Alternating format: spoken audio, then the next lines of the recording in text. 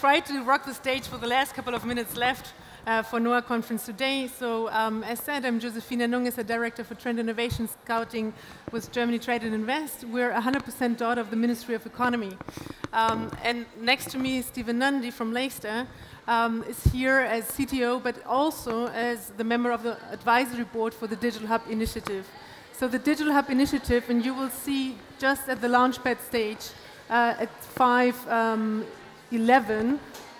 eight of our startups pitching. So what's the Digital Hub initiative about? But before starting that, I would actually like to know what is your role with Lakestar? Well, so, so Lakestar's a European VC. I think um, here in Berlin, it's probably, it's probably fairly well known. We've got offices in Zurich and in London as well. Um, so I'm, uh, I'm CTO and, and one of the partners there.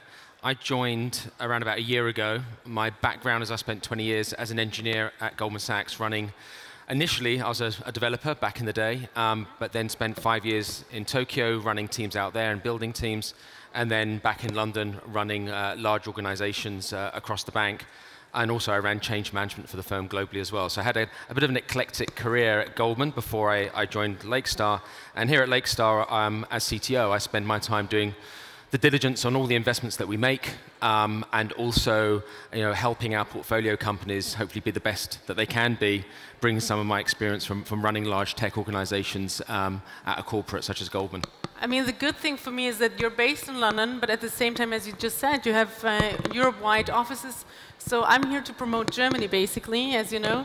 Um, so what do you see, like, what are the advantages? I mean, you from Lakestar perspective, um, for a startup to be based in Berlin, or what do you see as an investor, why you should uh, choose a German startup to invest in?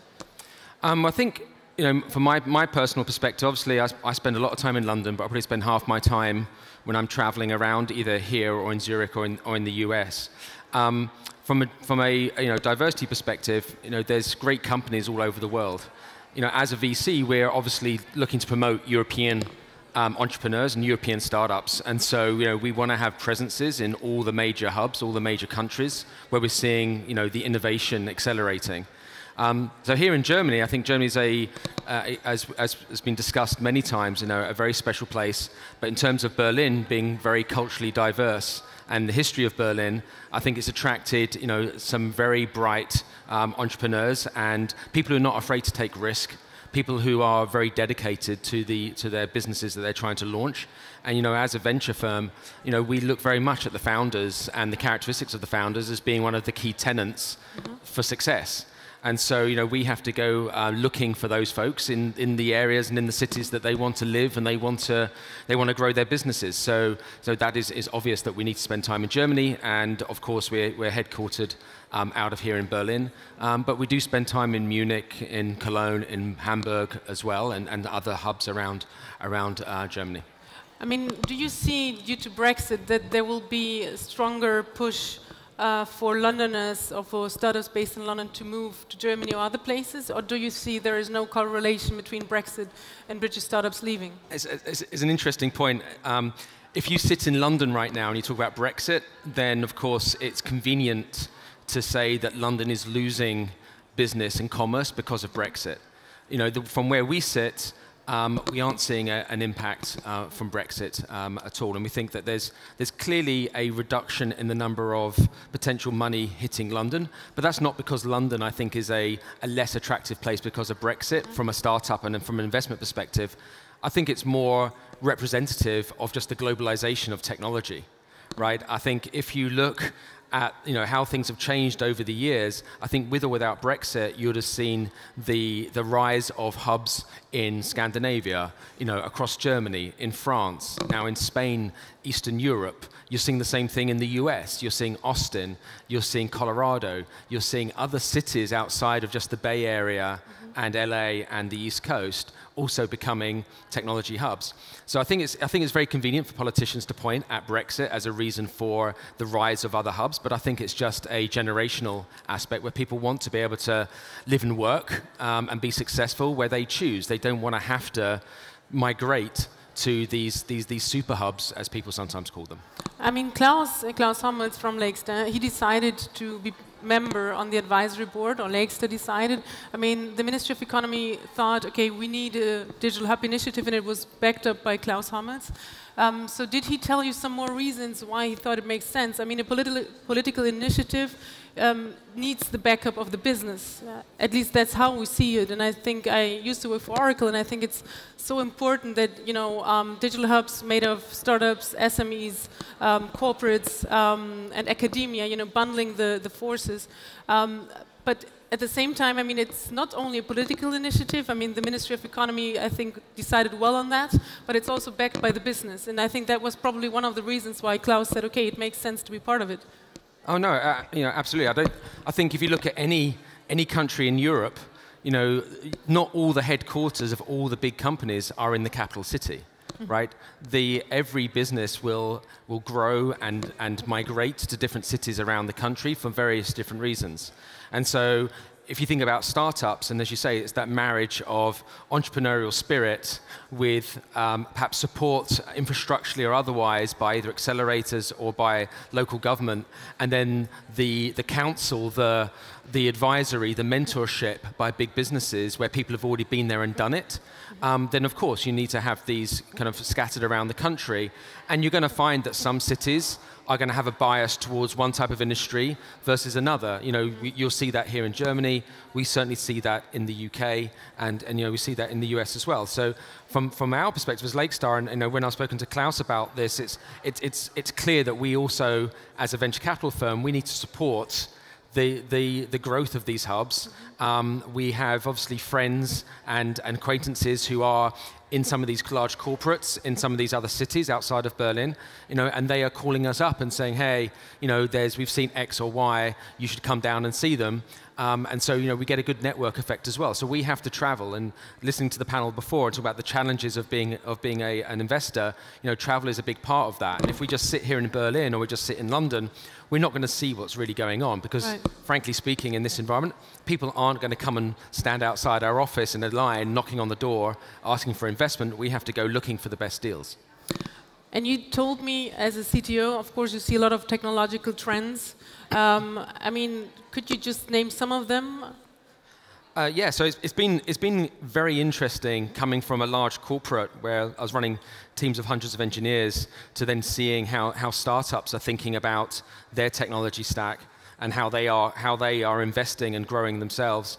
In terms of you know, let's break that into two halves. In terms of trends that I'm seeing that I get excited about as an investor and as a CTO, certainly the, the, the, data sharing economy, I think, is, is going to become massive. There's been a, a wave of technologies around data warehousing, data provisioning.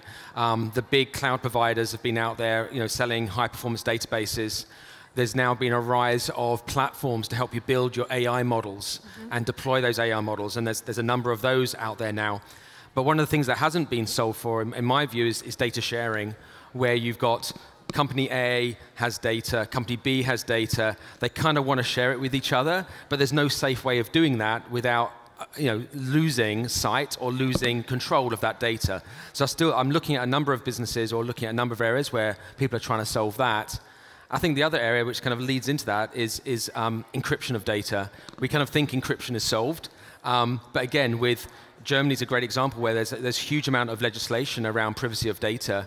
With GDPR, we've got the same, th- uh, same issue. And so as we look to send data up into the cloud and use company A or company B to process data, give us value back, there's an inherent risk that you know, the data, whilst we may, um, we may encrypt it as it's transferring from company A to company B, once it's at company B, we have to unencrypt it, do some processing on it, re-encrypt it, and send it back.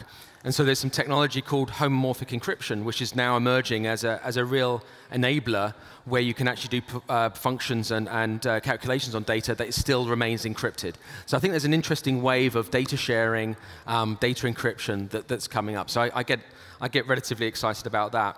In terms of what I see in some of the portfolio companies that I look at um, as, as trends, and I think one of the trends um, is where uh, some of our startups that we've seen um, perhaps don't invest early enough in, in creating a product that they can then go to market or iterate around quickly. I've seen a lot of startups now who've perhaps underinvested in tech at the start, have invested heavily in the go-to-market strategy, perhaps customer acquisition, um, perhaps in terms of you know, scaling out sales and, and operations, But when it then comes to trying to iterate that product quickly and get it out, they've realized they've underinvested and been too lean in their tech stack and are now having to slow things down as the tech stack catches up with the opportunity that they get. So, you know, certainly I spend a time with, with VPs of engineering and CTOs and CEOs just trying to help them understand that, you know, whilst you don't want to burn too much cash up front mm. on the technology until you've proven product market fit, you also want to be careful that you aren't setting yourself up for failure down the road by being too lean. Mm -hmm. Of course, I need to make a little bit more promotion for Germany. Of course. of course. Um, as mentioned, we have 12 digital hubs. I mean, in Leipzig for smart infrastructure, in Hamburg, oh my God, this mic, uh, for logistics as well, Dortmund um, for logistics, Munich for mobility.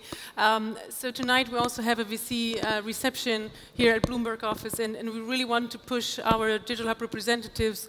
Uh, one of them is just uh, sitting over there, Falco Schütt for IoT Hub uh, Berlin. Um, we want to really um, support them, but as said, I would really like to, to know from your perspective why Germany makes so much sense to you. Why it makes sense more than any other any other yes. country in, in, in Europe? Well, obviously, second to England. Um, I would say that Germany, um, you know, as I said, I, th I, think the federated nature of Germany um, does bring different diversity and, and, and different challenges. You know, one of the things that you guys do that I applaud, and we're trying to do the same thing in, in other countries as, well, is working closely with, with local government and with the legislation and with politicians. And I was listening earlier to um, uh, talking about scooters on the main stage and about you know, how you have to work with local city governments to make sure that you're in, you know, you're, you're collaborating rather than going against. So I think the fact that you guys have hubs in different federated states, the fact that you then get to learn the local ecosystem, work with local government, understand those challenges um, is important, right? And that's not something that, you know, that every country, every country does quite as well. And, and us as a, as a VC, we spend a lot of time um, with with politicians, with legislation, to really, to really help shape you know, what we're seeing from the, from the, the venture side, from the, the startup side, get translated into well-educated, well-thought-through policies for, for the countries in general. And so I think here in Germany, you know, given the relationship that we have with with the ministers here that you know Klaus has, has nurtured over many years, mm-hmm. you know, then obviously that gives us an advantage um, for any startups that are sitting here in Germany. We can add value back because of our, our connectivity to the regulators in Germany. Um, and so we can help those startups. And so we see it as a, as a good marriage where if you are a business here that, that needs the help of government, be that on the policy side or on the legal side, you know, we can help unblock some of that because we have that relationship to, to bring those conversations to the front. Just, I, I, know it's, it's quite late, so we don't want to, you know, uh, take it too long. Um, as said, I'm just um, letting you know, Launchpad stage, our startups are already pitching, so afterwards, if you want, please check out um, Launchpad stage. Um, but just a final question, so would you ever again, as Lakestar, be part of on the advisory board for the Digital Hub initiative? I mean... Would we stay? Would we yes. go? Of course we'll stay. Of course we'll stay. It'd be, it'd be great to see what you guys have done here being replicated across more countries in Europe because you know, Europe needs to stand up for itself a lot more than right. it has done historically. And so I think you know, the work that you're doing, you should be helping the, the, the other countries, the other nations in, in Europe, you know, replicate and learn Create from you guys European well. vision, basically. Yeah, exactly. So we have to help ourselves. Stephen, thank you very much for your support and um, for the time uh, and the questions asked. So Thanks thank for being much. invited. thank you.